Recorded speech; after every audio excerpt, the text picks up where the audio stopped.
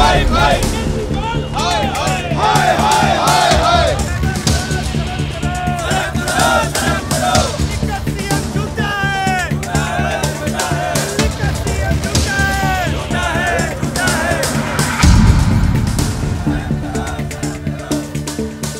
दिल्ली की जनता को बेवकूफ़ बनाया सत्तर वादे किए थे युवाओं से, महिलाओं से, उनमें से एक भी वादा पूरा नहीं हुआ है।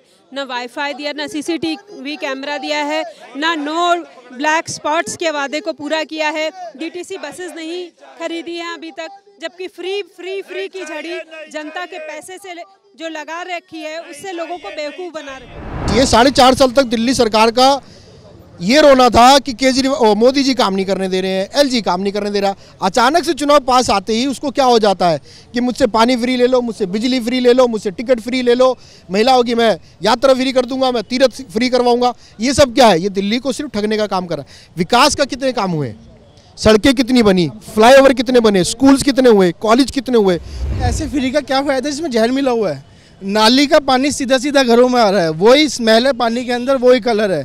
कहीं भी साफ़ पानी नहीं है। ये एक महाठग सरकार है जिन्होंने आज तक दिल्ली को डुबोया ही है।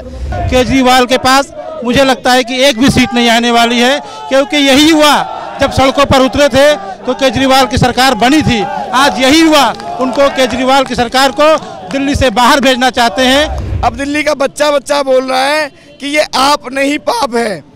जिन युवाओं का वोट लेकर आम आदमी पार्टी दिल्ली में आई, आज उन्हीं युवाओं को ये लोग रोज़गार नहीं दे पा रहे हैं। ये लोग कोई ऐसा काम नहीं कर रहे कि युवाओं को रोज़गार मिले। इन पूरी तरह से जो आम आदमी पार्टी है, दिल्ली के अंदर बिल्कुल विफल हो चुकी है। विज्ञापन के नाम पे उन्होंने हज़ारों करोड़ रुपए खर्च करे। अगर उसमें से कुछ करोड़ लगाते तो स्कूल भी खुल जाता, कॉलेज भी खुल जाते, वाईफाई भी हो जाता तो उन्होंने जो पाप किया है बच्चों की कसम खा के हम उस पाप को जनता के बीच लेके जाएँगे। गंदा पानी दे रहे हैं, साफ़ पानी का वादा करते हैं, गंदा पानी देते हैं। जब हम टैप खोलते हैं, नाले का पानी आता है, काला पानी आता है। पहले वायु प्रदूषित और पानी प्रदूषित।